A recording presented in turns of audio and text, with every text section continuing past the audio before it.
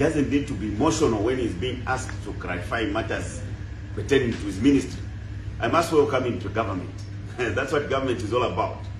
There are no easy options.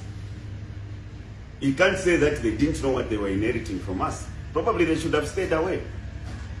But the fact that they are driving this country now, they must be responsible for everything.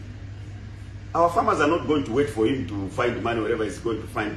The rains don't wait.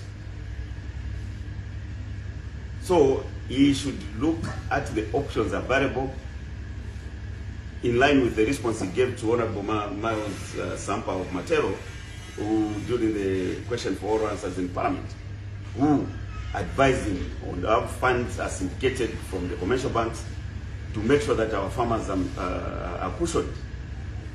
So, at the end of the day, when you take over a vehicle and you drive it and you bring it into water, you don't blame the previous driver who was driving the same vehicle.